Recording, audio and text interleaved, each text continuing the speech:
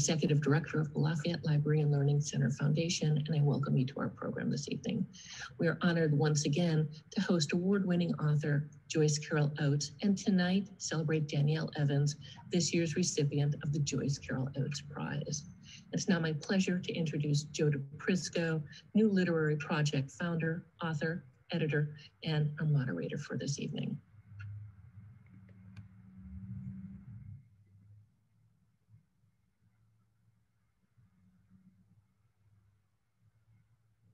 Hello, everybody. Uh, welcome. It's uh, it's great to be here. Thank you so much, Beth. It's been a sweet journey uh, as we founded the uh, the literary project starting six years ago. Uh, once upon a time, we were the we were proud to be the Simpson Literary Project. Now we are the New Literary Project. We invest in teachers, students, authors, and we inspire and equip writers across generations to write their hearts out. We teach, we publish, we support. Please take a look at our brand new website. Uh, welcome here, Cinco de Mayo, to meet Joyce, Carol Oates, and Danielle Evans. Uh, the Zoom universe can take its toll, so thank you so much for being here. Uh, it won't be long before somebody like me is telling you to turn your, your cell phones off and where the bathrooms are. That'll happen soon enough. As for housekeeping, our marvelous uh, executive director, Diane Del Signore, will be managing the Q&A, which we encourage you to use. And Ashley uh, Patterson Scott, our wonderful digital director, is managing the chat. Uh, and, and use gallery view for the best video. Okay, I think that's all the housekeeping. So let me begin. Uh, Danielle Evans is the much celebrated and belaureled short story writer who meteorically burst on the scene over a decade ago. She's a professor at Johns Hopkins. And to bring us to now, she is the 2021 recipient of the Joyce Carol Oates Prize, $50,000 awarded by the New Literary Project for a distinguished mid-career author that is someone who is emerged and still emerging. She will be with us periodically throughout the year and be in brief residency at Cal in the spring, working closely with our colleagues at the Berkeley English Department. Her most recent book is The Office of Historical Corrections, published by Riverhead, edited by Sarah McGrath. Ladies and gentlemen, we're honored to be with Danielle Evans tonight. And there you are, Danielle. Okay, Joyce Carol Oates is Joyce Carol Oates. She is the world famous author of many, many, many important books of fiction, nonfiction, poetry, and memoir beloved by generations of readers, writers, and students the world over, the recipient of all the major literary awards. Her recent books include American Melancholy, her latest book of poems, Night, Sleep, Death, and the Stars, a monumental family saga of staggering impact, and The Other You, her latest book of short stories published by Ecco, edited by Dan Halpern. To bring us to this moment, she is the inspiration and a dear friend of the New Literary Project. Ladies and gentlemen, we're honored to be here with Joyce Carol Oates. Joyce, there you are. So, uh, where am I? Sarah? I can't see. I don't know. Joyce is in two windows here. Not that we mind that, Joyce. Great to see you in two windows. Um, okay. Let's try this. Speaker view. Nope. Start my video. Oh, there you go. Oh, I don't know what happened. Sorry, apologies. All right. Uh, so I, I want to, I hope we can get to talk about a lot of stuff uh, today. Why is my video going off? There it is. Uh, I want to talk about uh, your books, your most recent books. Uh, I want to talk about the art of the short story and the public issues that animate your imagination, I hope. And I also hope this will be a three-way conversation where you'll be able to engage each other on questions that interest you. But let's begin with a subject nobody is talking about, punctuation. So Joyce's latest book of short stories is The parentheses, other, close parentheses, you. And I just can't resist asking about that and thinking about Joyce. When I see the parentheses, uh, it has multiple functions in your writing. It can be impish, it can be ironic, it can be funny, it can be uh, a warning. I'm, I'm, so I guess I'm, my general question is, what are the, what about punctuation interests you? What's what punctuation don't you like? What punctuation do you do you fight with your copy editor about? Ellipsis, uh, exclamation point, brackets. I mean, what? Some of there. That's the question. Well, it's an interesting question, sort of a metaphysical question. I must say, no one's ever asked me that before, and probably no one has asked Danielle that. well, in this particular collection of stories, I'm really working on the idea of uh, what is reality? What exactly is this world that we're living in? You know, I think we've suffered a kind of ontological upheaval in the past year or so, almost not knowing who we are. I know my own in my own life, I've done a lot of thinking. I've been so much in solitude with just two therapy animals. Mm. So you sort of look back upon your life and think of ways that you might have gone, sort of alternate lives or alternate universes. So the other you is a way of thinking of there may be other yous somewhere out in, in the world that you didn't realize, or there may be an other you inside yourself. Start using the, the parenthesis to suggest that. And when we're speaking in an ordinarily, we don't have any way of indicating bra- you know, brackets or apprentices. Sometimes I will say, well, parenthetically, and make a little gesture like this, we're, we're sort of on one plateau. But the kind of writing that that I do in this in this book is not necessarily the sort of writing that I do all the time. This is more like a, an inquiry into the nature of, of reality. And I was looking at Danielle, I mean, looking again at Danielle's wonderful collection of, of stories. And she's, she has a kind of interesting structure for her stories. I'm not noticing any unusual punctuation, but it's something I have sometimes done myself. There's a foreground story that's moving along at a certain momentum, but then there's a backstory, kind of something in the background that's making possible the foreground story. So I noticed that Danielle did that. This is a maybe a more traditional structure for the short story. It's not minimalism. No. You, you don't get that structure in Hemingway, but you would get that structure in Alice Munro or, or maybe in Chekhov. So I do think about these things in terms of how to best present the work that I'm trying to tell. And, and Alice Munro is is is a writer you've called out a few times. I'm gonna I'll follow up later with my punctuation questions about because I know you're fond of the em dash, and I didn't see a single parenthesis in my scientific uh, research into your your book. So would you would you like to respond to what uh, Joyce had to say? Sure. I have to say, I'm a little afraid of answering questions about punctuation because the angriest anyone's ever been at, been at me on social media was when I, I made a joke about ellipses and punctuation Twitter got very mad. Seriously, had to block like several people. so, um, but I, I don't, I don't think I tend to use parentheses, but I do like, I do like a good interruption. And I think I do like an em dash. I also like the semicolon. I think Oh my goodness. Okay, here we go. I, I think maybe because it relates to something about what Joyce is saying, which is that I do like stories that sort of push together things that don't seem like they're the same story until until they are. And I think that punctuation that allows for interruption or punctuation that allows for kind of pushing together two ideas maybe echoes that in some way. But I'm interested in structure in which sort of a story introduces it self to you as one thing and turns out to be something else. Danielle, have you experimented with writing very minimalist work? You know, I've tried. I was so proud of myself in this book because I finally got two stories that were below 10 pages. And then as I was turning the, the manuscript into a collection, I cut one of them because it just didn't belong and I wasn't interested in making it longer. I cut the shortest one. And then the second shortest story, I was like I brought it to my editor and I was like, look, it's, it's below 10,000 words. I've done it. And she was like, but it, it could be longer. And I was like, you know what, you're right. It, it could be longer. And so it got longer. And I think better as it got longer. I think I'd sort of written around some things in the earlier version of it. But um, no, I'm not, I'm not a minimalist. I was very struck by how you took a story that might have been written by someone else as a minimalist story that was just satirical.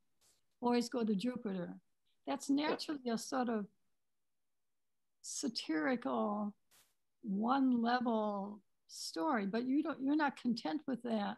You really take us back some years and you're grounding your character in a, in a very emotional um, reality that makes it impossible for us to dismiss her. You know as we might if we knew about this girl uh, just to explain the story a little bit, it's very bold and audacious, especially as it begins before we know the depth of her personality. A girl who's not thinking too much, she's, she's really careless and she's not necessarily a racist at all, but she's wearing a bikini with a Confederate flag on it. This gets on social media and it goes viral. Instead of apologizing for this really crude iconography, if you can call it that, or at least retreating in embarrassed silence. She sort of doubles down and, and keeps doing it so that the reader is is kind of wincing and, and squirming. And you're thinking, how can she keep doing this? But then we learn that there's a, a backstory to, to her life and that she was once, uh, she had a, her best friend was a black girl named, I think it was Angela, that they loved each other and they had a not exactly a falling out, but they went in different directions.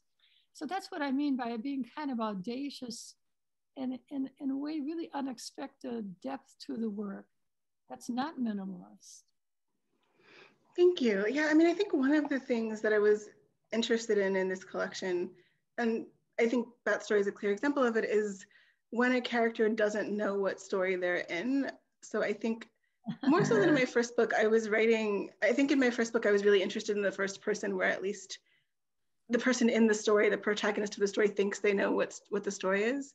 Whereas in this book i was i was trying to write characters who didn't necessarily see their own story or see themselves very clearly which is sometimes trickier because you have to run what what feels like the story to the character on the surface and then this other story that lets you kind of see around the point of view. And that's a kind of um, requires a kind of excavation. So I think both because of grief and because of privilege, this is a person who can't really see herself clearly. And so the whole story, even though it does move through time, is in the present tense because it felt like the best way to capture um, a person who, who both can't move forward and can't hold herself accountable.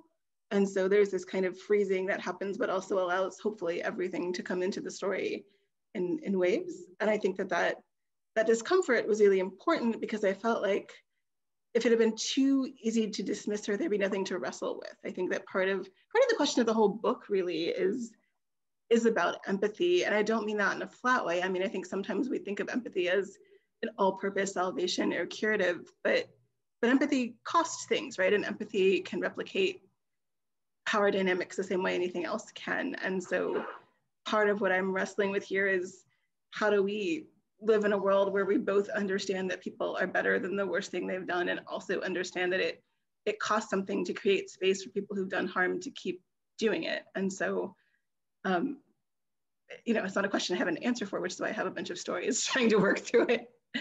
What's the very antithesis of say social media or sound bites where everything is reduced to just one little you know tone or statement you're, you're writing works of art in which there's complexity and ambiguity. So the ending of Boys Go to Jupiter, the ending is really beautifully irresolute. So we don't even know what's going to happen next. And yet there's a there's a, a an undercurrent or an overcurrent uh, throughout your book, Danielle. Of, of, of, of, I don't want to call it a dream or a wish, but a desire for redemption, for resolving the truth, for uh, second chances, for the virtues that uh, we don't know we have. and what's I think the remarkable achievement is that uh, it doesn't come across as sentimental at all. It's very hard. It's edged, and it's uh, and it's big-hearted at the same time. Thank you. So I, don't want to make a link, force a link between these two books, but it seems to me that one of the things that is, there's a great moment, Joyce, in The Happy Place, when the the, the professor who has been uh, mystified by a student, Anna, and finds out that everything she thought about her uh, turns out not to be the case. And I mean, everybody who's ever taught for any length of time has had this experience with a student where you're just mystified. Okay, this is somebody I didn't understand. And she reaches this moment, and it's so moving. And I've thought about this a million times when she asks herself, What else has eluded you? And what else, and about what else have you been mistaken? And that's that. I mean, there's such emotion in that, uh, which is a theme throughout the entire Other You. Um, and I think that this is this is also going on in, in Danielle's uh, book of stories, where where characters are uh, they are mysteries to themselves, and they're multiple selves. I mean, I don't want to push this too much, but there's there's a multiplicity of selves in in the in the multiracial characters who are there, who are they're multiple selves. They're negotiating um, the the pressures of, of being uh, multiracial. So they're and and, you, and this comes up a lot in in your book. Can I ask a question of Danielle? Uh, I noticed that you have really, really lovely, tender relationships between women. It could be a mother and a daughter. It could be two friends, or it could even be with a nemesis, as in the uh, title novella. And I, I was just curious what the evolution of the Office of Historical Corrections was, whether that began as a short story and then it got longer, whether you always had Genevieve in it, or did you add her a little later? Yeah, no, I, I mean, it's funny because I think there are two opposite and equally true answers to that question. So maybe I'll give you both. I mean, I will say generally, I think I'm really interested in friendship and I'm and I'm really interested in friendship in the short story because I think so much of classic short story structure for me is about it's about rhyming action and what it tells you about what's changed and what hasn't. And I think friendship lends itself to rhyming action because like we talk a lot about novels and the marriage plot and, and that marriage is kind of an event, right? Either it happens or it doesn't, and then it takes an event to undo it in some way. And I, um, and not to say that there aren't lots of great short stories that are also about marriage, but I think friendship is interesting to me because it's a choice you have to make over and over again, and it doesn't require an event necessarily to change a friendship. And so there's a way in which it allows you to kind of illustrate the pas passage of time or a change in a person in a compressed space because it doesn't require drama for a friendship to shift. It just requires at least one person in the friendship to be slightly different than they were. And I think there's something interesting about just those sort of small intimate interactions and what they can convey about what's changed and what hasn't over time. Um, but the title story actually sort of started as a novel. Um, I was working on a novel about a historian for years and years, and it had sort of run into a variety of problems, one of which was just a time problem. And so at a certain point, it became unsolvable um, because it was, I'd sort of set it in the wrong time. I'd set it in the soon to be at the when I started writing it, it was set in the future and then it had become the past while I was writing it. And so it was set in this re alternate recent past that just didn't work. And I tried and I tried and it, it, it couldn't be saved. Um, and so I sort of abandoned that, I thought. And I was like, I'm gonna write a different novel. And I think I I didn't realize honestly, because I think a lot of being a writer is just being less smart than your subconscious. So I didn't realize that what I had done was just actually solve the other problem of the novel, which is that I'd given my historian an active job. Because I think the other sort of question of the novel was that everyone was like, why is this book centered on this person who's writing a book when all this other interesting stuff happens? And I was like, because that's the, the interesting character, and nobody believed me. Um, so I found a way to make her interesting by kind of turning her um, her work as a historian also into a kind of um, detective story that could that could hold the plot. Um, yes, but so yeah, so when I started it over, Genevieve was always in the story, but I don't think I'd, eventually I realized that I was writing about the same character that I had from the other novel. And so I brought her in. So in some ways, Genevieve was in the story before Cassie was, because before I sort of fully formulated who the main character was, I knew she had this rival slash friend, and I knew that that was part of the sort of the way that I would explain the arc of her life and her career. Um, but I think I only belatedly realized that I'd already kind of written this character and could pull in a lot of the character work I had done in the otherwise abandoned novel.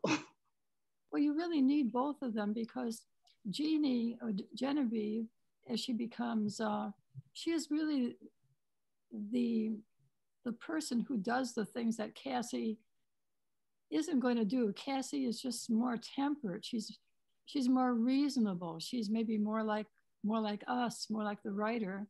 And Genevieve is this character who's willing to put her life on the line. And this, the novella really has to be read, I think, a couple of times. It's, it's Kafka-esque, but it, but it also reminded me of Ralph Ellison. It has allegorical uh, dimensions to it, but at the same time, it's very realistic. And there's a lot of detail that's just um, sociological and very realistic. So I thought that was a beautiful, beautiful kind of equilibrium. But with Thank Genevieve, we, with Genevieve is an interesting uh, sort of dramatic character as like a Shakespearean character where she maybe she's going too far. You know, maybe you shouldn't be trying to correct everybody. Uh, we need to correct egregious errors and, and lies and falsehoods. But maybe at some point it's too much? Were you sort of thinking along those lines of moving toward tragedy? Yeah, I mean, I think I was interested in in the fact that they have these completely different strategies, and in some ways, both of those strategies are doomed. You know, I think that oh, there really? not a way to be a person in an institution when you don't have the power to actually be the institution. I think is part of, and I think that this that's that's a sort of larger question, right? Is that how do you balance wanting to be a person who does the right thing or makes changes in a structure that doesn't want to change or in a structure where you don't have the power to to do the good that you want to do and so i think having these characters represent kind of different different versions of trying to navigate that like a person who is more acquiescent and kind of tries to work inside the system and somebody who is more kind of competitive and, and willing to, to kind of burn things down. Um, in the end, neither of those exactly works, right? There's a price to both of those things. And I think that that's, that's again, part of, part of what I'm thinking about. And again, not coming to a, if I had, if I had an answer, there would be instructions in the book, but is, is, is about power, right? Is, we all learn different ways to kind of navigate the power we don't have and the power that we do. And so I think in some ways there is a tragedy in that both of these characters are unsure how to navigate the power that they don't have and it puts them at odds in a way that they're not able um, to save each other. But look what you did in Alcatraz with the, those terms exactly apply to what's going on where um, she's the, Cecilia is trying to. How would you characterize that story? Where did that story come from? Where did you get to in that story? You think that's different from uh, Office? You know, it's funny because I insisted for years that that story had a happy ending, and so I remember when we were talking about, and because that's the oldest story in the book, just in terms of time, it's the one that I wrote earliest, and so some of the stories were pretty much done when the collection was ready to go, and others that were either very old or very new. Um, I wanted to, to edit for the collection, and so I remember talking to to my to my editor and her assistant, and um, having this. I said, well, you know, I don't. I'm afraid of changing that story too much because it's really the only story that has a happy ending. And my editor's assistant just very gently kind of looked at me and was like, "Do you think that that story is happy?" and I think I looked at it again and I was like, "Okay." I guess it wasn't that happy in the first place, so I have some room to open it back up. And um, and yeah, I mean, I think again, it's a sort of it's a lack of it's a lack of resolution, right? It's not it's not a dramatic tragedy and that there is some tentative reconciliation, but it's not um, it's not enough, and it's not enough to kind of overcome this larger gap of, of kind of many years and of different experiences and different senses of what the world is. And so um, I think the other, other reason it was hard to edit that story is that it did come more than most of my work from some actual family history, although very, very heavily fictionalized. Um, and so the other reason I had trouble editing that story was because it's the only story that I've ever given anyone permission to sign off on. And so I, I, I thought, well, if I gave it to my mother as a happy story and she liked it that way, I can't, I can't make it sadder. And it had to be pointed out to me that it was kind of sad all along. so, it's, very, touching and it's very yes. tragic. Right. And, and we can't say that this is fiction at all. I mean, this is so, so timely instead of staring us in the face. And, you know, as a writer, I'm, if I, I, like most of us, if you work on something, it often doesn't get published to, you know, two or three or four years after you're writing it. So I'm very often asked if I was influenced by something that happened like a couple of months ago. But you can see in your work, um, one of the climactic scenes in, in the book takes place in a place called Cherry Mill, Wisconsin, which is just like an hour's drive away from, from Minneapolis. So when people who read this book like in a year from now, they may think that there is some direct historical connection there, but your writing is so prescient. Well, there's a Cassandra everywhere in your in your book, right? and the idea of alternate facts. Yeah. You don't you Danielle doesn't use that phrase alternate facts, which we find so infuriating. Right. But all around, you know, these plaques and historical monuments and textbooks, especially, all this misinformation that's out there. And to try to correct it would be a whole lifetime. So Sisyphean labor, but but the young the young woman Cassie, she has that kind of uh, that sense of mission, and especially G- Genevieve does. Well, there's there's an interesting thing that you said, Danielle, in um, in an interview. I think it was in Elle. You said, "For for years, I felt like I was being told to resist my most catastrophizing impulses, only to have many of them turn out to be right." Mm. And the, the link I would make to Joyce's story, great story, Sinners in the Hand of an Angry God, uh, Luce, the, the, the, wife, uh, her husband mansplains to her all the time, don't catastrophize. While the world is going to hell all around them, he's saying, don't catastrophize. Yeah. Women, are, women are always told that. Women are told they're emotional. We just have to be very quiet. and the, the tone of Danielle's writing is so reasonable. I mean, there's just this wonderful reason I was almost a little startled a minute ago, Danielle, when you said that that there wouldn't be you didn't have faith in institutions, because I I've ne- almost never encountered anyone writing about the government, like the federal government, yeah. in a way that you do. That this is is hopeful. It's it's so well presented in the prose, and then I learned something also that I didn't think about or just didn't know about that when, say, the right wing takes away money from the, the government, sort of demonizing the government, that's taking away employment and, and identity and lives of, of those people who are who work for the government as civil servants. And they keep the whole government and the country, the economy going. So to take away their jobs is really an ultimate ra- racist strategy that I, I probably didn't even think about. And it didn't occur to me.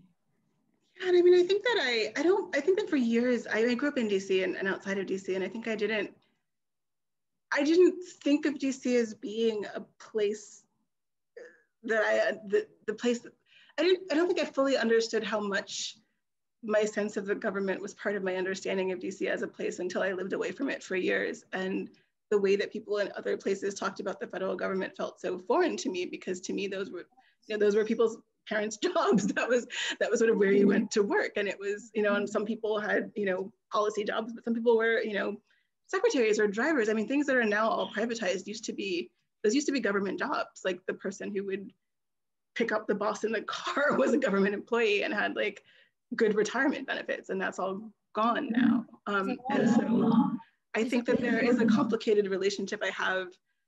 You know, I have a, a healthy distrust of institutions and also a deep amount of respect for people who believe that they can be better and work the way that they're intended. And so, um, again, there's another thing I sort of failed to reconcile in various ways in this in this collection. But I'm, you know, um, I want to believe in possibility, and I also think that there are a great many reasons for cynicism and anxiety.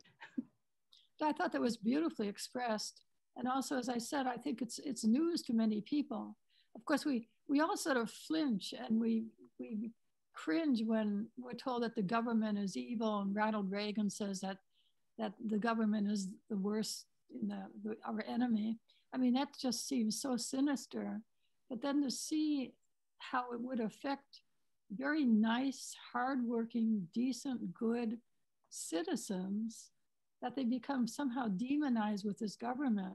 I thought that was very well expressed, and I don't think many people write about that. No, and I mean, I think that's that was sort of part of.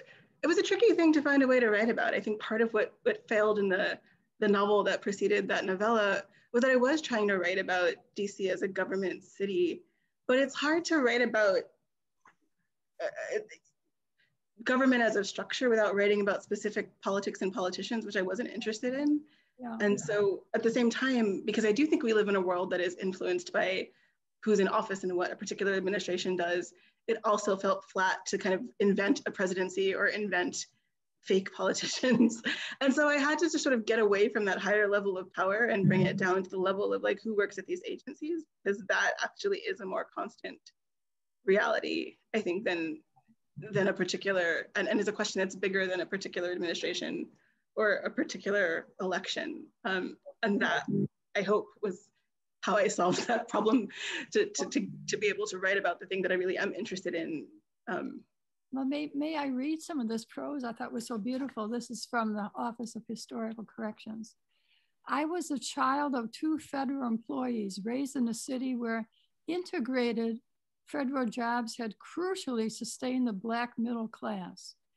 The most bewildering part of leaving DC the first time was discovering that elsewhere, people casually used the term federal government as a pejorative. I needed no convincing of the fatal possibilities of government overreach. The way fatalities told the story of who the nation considered expendable. But even after the low points of the previous decade, I believed in government, or at least believed in it more than the alternative, that my country might always expect me to audition for my life I accepted as fact, but I trusted the public charter of national government more than I trusted average white citizens acting unchecked. No, I thought that was beautiful.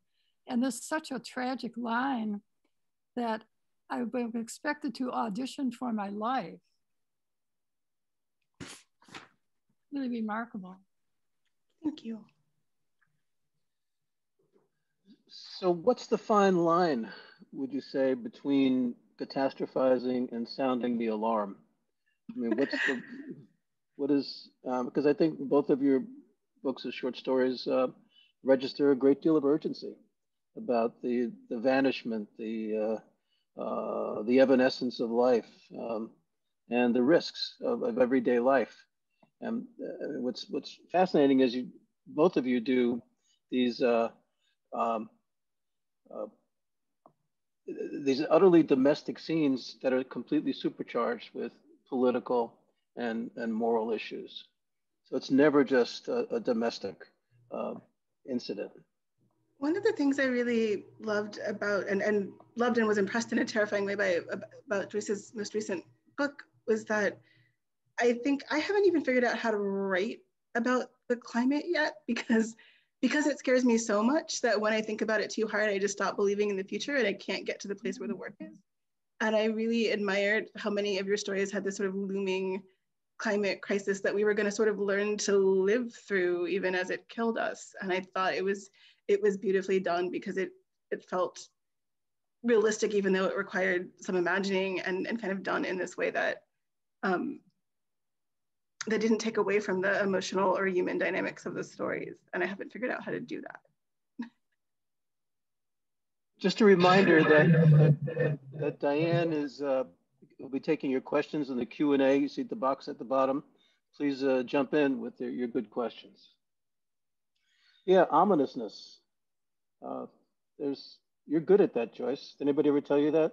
It's I mean, there's a there's a wonderful sort of uh, uh, I mean, there's a cloud, both a literal cloud and a metaphysical cloud that uh, just drifts across all these stories. They're so marvelous. Uh, I mean, I love the fact that you even take the little joke that the stories take place in Yewville, Y-E-W uh. I thought that was charming.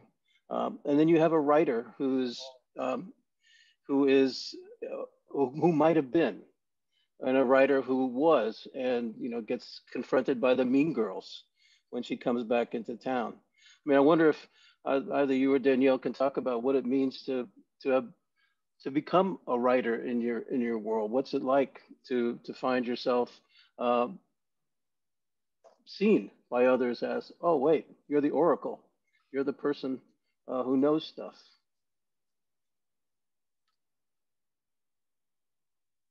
Danielle's stories often do go very fluently back and forth between times so that her Cassie and Jeannie have this relationship and Genevieve is like a later manifestation, but she can sort of remember when they were just girls together and they and they were quite different.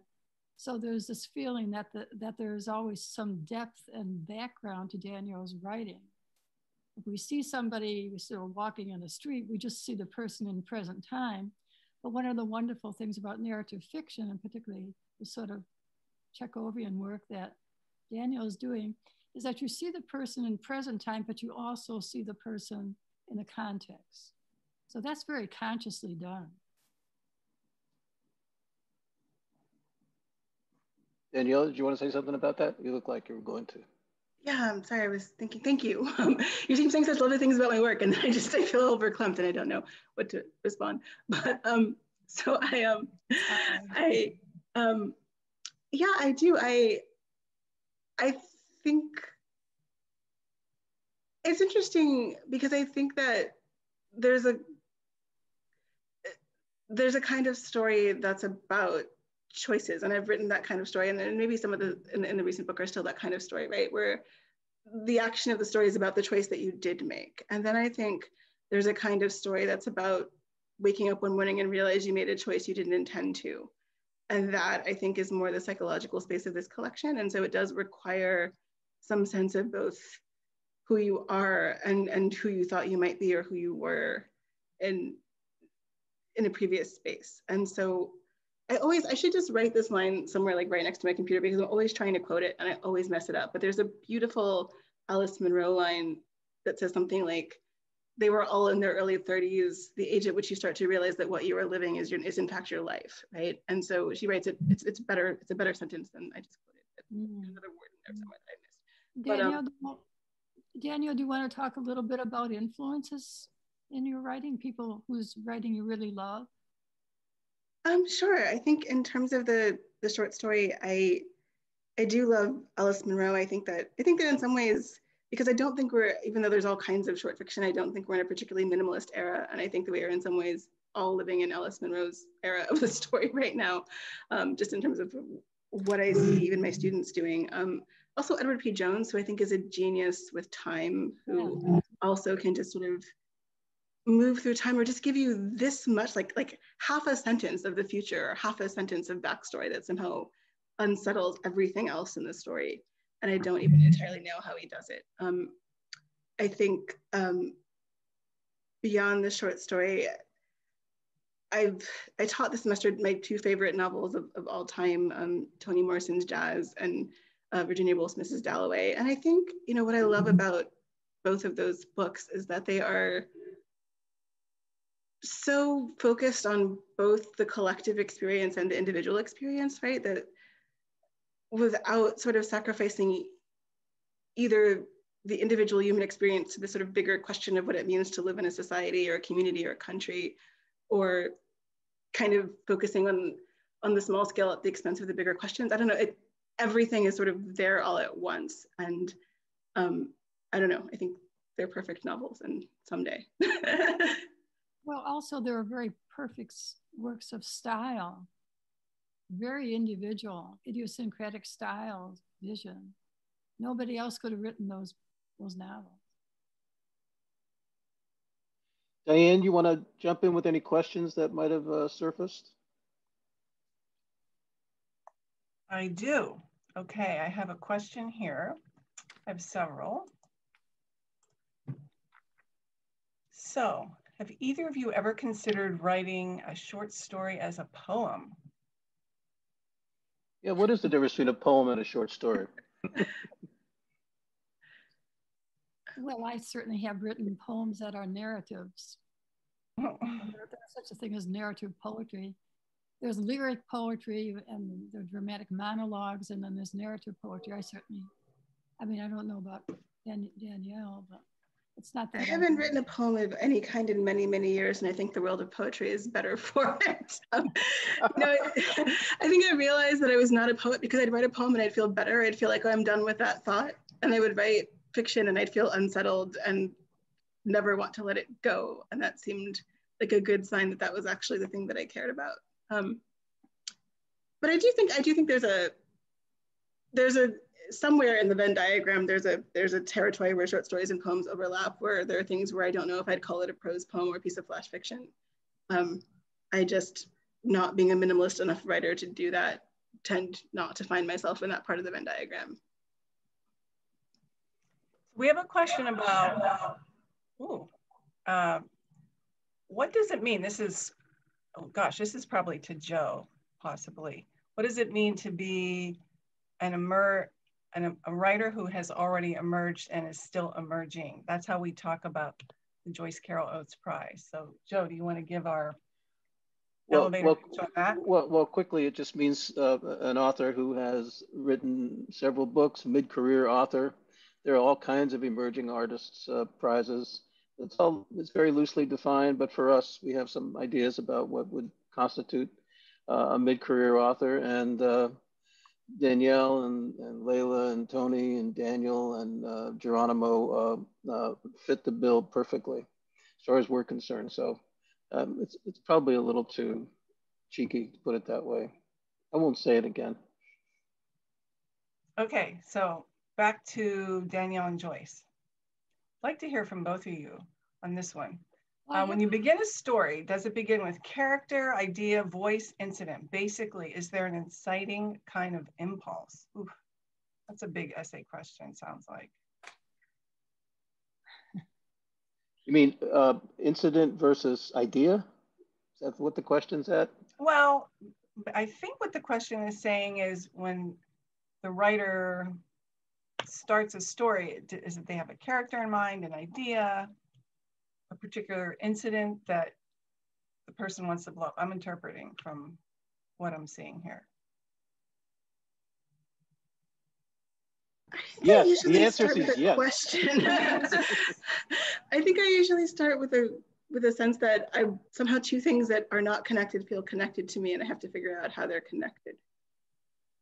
Well, your story, Alcatraz, would seem to be a story that might have been stimulated by something that actually happened a terrible uh, act of injustice, terrible, ruining a young man's life, a young black man's life, basically.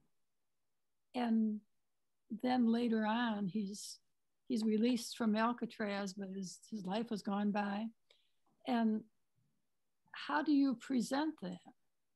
You know, that, in other words, it may be something that actually happened, but that's not the story. The story will be how is it experienced by people in his family, especially. So yeah, there, there are two ruptures in that story. The grandfather in that story is actually white, but then his his granddaughter, who he raises, is black. And So the first rupture is this is this unjust imprisonment that happens to him when he's a very young man.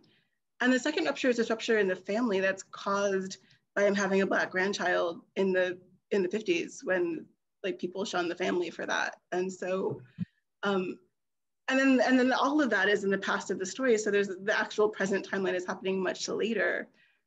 And that that haunting, I think, was part of the story for me. Um, not to say that in any directly causal way these things are related, but all of these things are kind of part of this family's history that has to be reckoned with. And so part of the the challenge for the the character at the center of the story, who's much younger, who's sort of born after all of this happens, is, is kind of what needs to be reckoned with and confronted and what needs to be let go of, like what, what it's not her job to solve or fix or hold on to. Um, and so the, the present action of the story is caused by her trying to kind of fix something and creating this dramatic event that causes them to sort of look at all this other stuff. Um, but it's really a daughter dealing with a mother.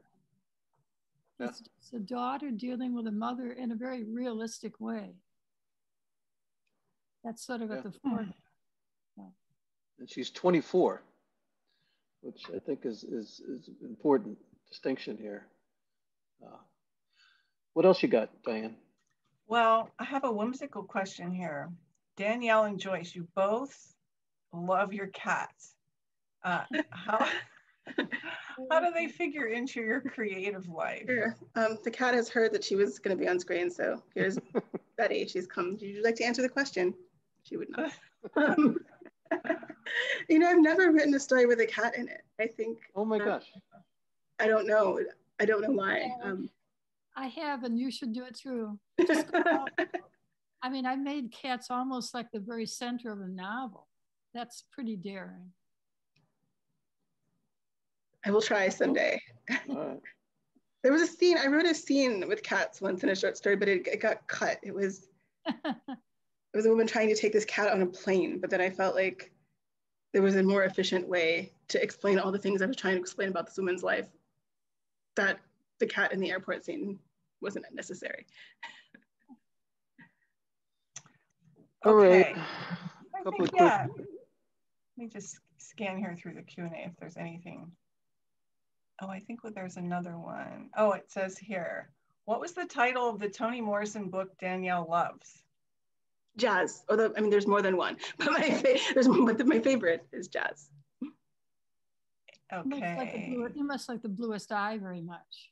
I do. I, I taught that, in fact, last semester. I taught jazz this semester, but last semester I taught a class on passing narratives. The blue eye isn't really a passing narrative, but it was adjacent enough that it seemed interesting to talk about yeah, in yeah, conversation. That's, that's, a very special novel. And of course, Toni wrote it when she was maybe four, over 40 years old. And Toni was my friend and, and colleague at Princeton for, for quite a while. And I remember Toni saying that when, when she wrote the novel, there was certain scene in it or some element in it that she she wasn't quite ready to to write up at that time. So later on, maybe 20 years later or so, she rewrote part of the novel, which I thought was so interesting.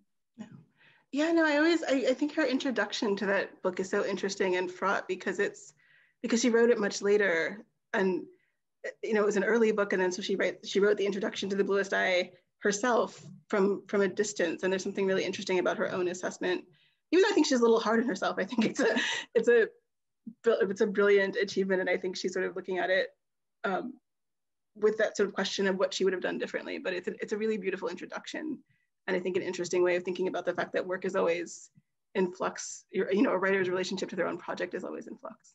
Well toni was a very unusual person. She had a kind of scalpel mind. She was not predictable.